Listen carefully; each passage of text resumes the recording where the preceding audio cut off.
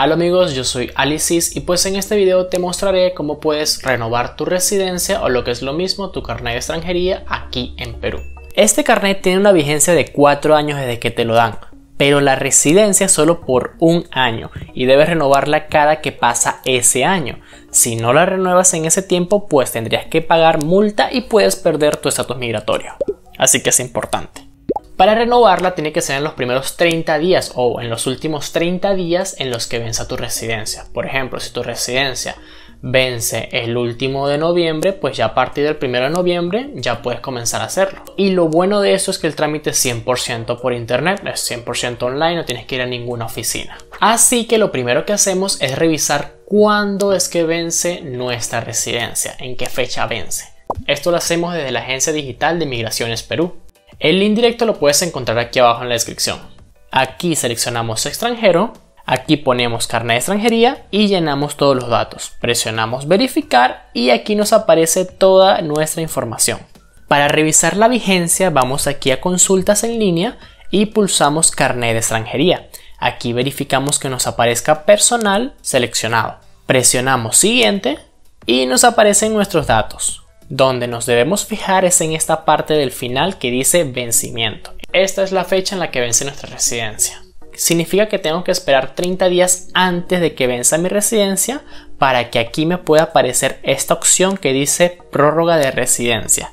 Si no estoy en esos días, esta opción no me va a aparecer. Ahora sí, una vez que ya sepas que estás en esos días, una vez que ya sabes qué días son, pues qué vas a necesitar para hacer ese trámite. Primero, el pago del trámite que cuesta 25 soles con 60 céntimos. El código es 01857. Eso lo puedes pagar en el Banco de la Nación o también puedes hacerlo por internet por pagalo.p. De todas formas, aquí mismo en este video más adelante te voy a explicar cómo hacerlo por internet. Luego tenemos que actualizar nuestros datos y obtener ese código. La actualización se hace igual por internet y son unos 15 minutos lo que nos toma. También necesitamos una copia del carnet de extranjería digitalizado en formato PDF, por delante y por detrás. Y por último también debemos tener el reporte de valores o constancia de no adeudo de la SUNAT. Esto pueden sacarlo en una oficina SUNAT o pueden hacerlo igual por internet. Aquí es el único documento que no les voy a decir cómo hacerlo por internet, cómo sacarlo, porque yo no pude. Pero igual ustedes lo pueden investigar. Es un documento como este y si lo hacen en una oficina de SUNAT como lo hice yo, pues también lo vamos a necesitar que esté digitalizado en formato PDF. Así que bueno, comencemos primero haciendo lo que es el pago del trámite. Eso lo pueden hacer en una oficina física o lo puedes hacer por internet. Es fácil. Solo entramos a pagalo.p, vamos a este buscador y podemos buscarlo aquí en la sección migraciones hacia abajo. O podemos escribir solo 01857 y aquí nos aparece. La seleccionamos y en esta parte buscamos prórroga de residencia. Abajo en tipo de documento ubicamos carnet de extranjería y escribes el número de tu carnet. Aquí aceptamos los términos y le damos pagar. En esta parte nos pedirá que iniciemos sesión. Si aún no tienes una cuenta registrada, pues puedes hacerlo ahora mismo, puedes registrarte e inicia sesión. Aquí seleccionamos el método de pago ingresamos los datos de tarjeta y le damos pagar. Esto nos va a dar un comprobante en PDF y también nos va a llegar al correo. Ese comprobante tenemos que guardarlo porque lo vamos a usar luego. Ahora hay que actualizar nuestros datos en migraciones. Esto es fácil, solo vamos al link que está aquí mismo en la descripción, que es este. Le damos aquí a iniciar y aquí llenamos todo esto con nuestros datos. Luego aceptamos y continuamos. Aquí llenamos esto, siendo la primera el vencimiento de la residencia, que es cada año, y la de abajo es el vencimiento del carnet, que esos son cuatro años. Luego de eso le damos aquí para continuar. Y aquí debemos ponernos con calma y actualizar todos los datos que falten. Generalmente lo que uno siempre actualiza son los datos de trabajo y esas cosas, porque en mi caso no cambió nada más. Si en tu caso cambiaron más cosas, pues ahí puedes ponerte. Luego de que hayan actualizado toda la información le damos a continuar aquí al final y nos aparece esta ficha con el código de actualización aquí abajo. Este código lo apuntamos porque lo vamos a necesitar y ya aquí no hacemos más nada y salimos. Ya con esto tendremos todos los documentos, lo que es el pago, el carnet de extranjería, el código de actualización y el documento de la SUNAT. Ahora vamos a realizar la prórroga de la residencia. Tenemos que volver a la agencia virtual y ahora dar clic aquí que dice prórroga de residencia. Aquí seleccionamos nuestro departamento, en mi caso es Lima, y abajo ponemos el código que nos dio al actualizar los datos. Presionamos siguiente. Aquí podemos ver estas tres secciones.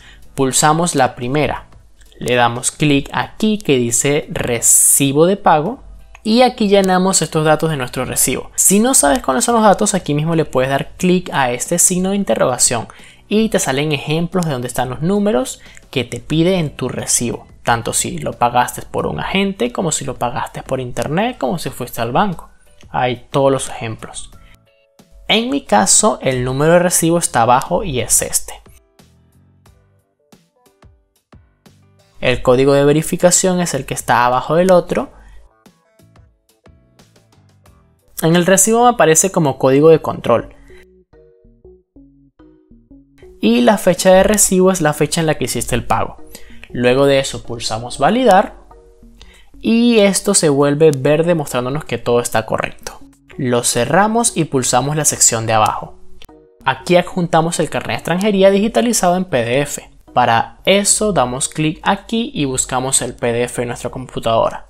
Aquí igual se vuelve verde. Cerramos esto y vamos a la última sección.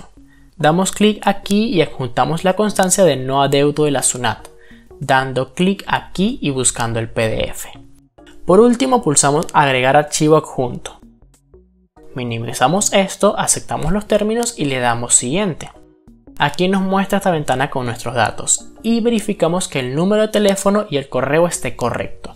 Es muy importante este correo, si no está correcto pues lo puedes cambiar aquí mismo. Luego le damos a guardar y generar trámite. Y aquí nos aparece esta planilla ya con nuestro trámite iniciado. Descargamos este documento dando clic aquí y ya. Ese documento debes guardarlo porque es el comprobante de tu trámite. Y recuerda que no está prorrogado aún. Lo que acabas de hacer es enviar la solicitud. Luego de más o menos una semana o tal vez dos te aparecerá el resultado. Si quieres también puedes llenar esta encuesta y ya puedes cerrar esta página. También debes estar muy atento de estar revisando siempre tu trámite para ver en qué estado va. Eso lo puedes hacer desde la página de migraciones, aquí donde dice estado de trámite. Aquí escribimos el número de expediente que lo encontramos en el documento que acabamos de descargar. Es este de arriba, este código y el código de verificación y la fecha que estarán en la parte de abajo del documento. Llenamos esto y le damos a verificar. Aquí nos sale el estado de trámite, que como lo acabamos de hacer nos sale pendiente. Como les había dicho, después de un par de semanas ya aquí nos aparecerá así aprobado y ya está. En caso de que aquí, luego de ese tiempo, te salga otra cosa, pues ahí debes ponerte en contacto con migraciones. Aunque es muy probable que si todo lo hiciste bien y si cargaste todos los archivos, pues todo te va a salir bien. Y ya eso es todo. Si te gustó este video puedes darme tu me gusta, puedes compartir este video con algún amigo que también necesita la información y puedes suscribirte. También puedes seguirme en mis redes sociales, que todas las encuentras como alices.b. Y claro, si tienes alguna duda o comentario puedes dejarlo aquí abajo. Hasta la próxima.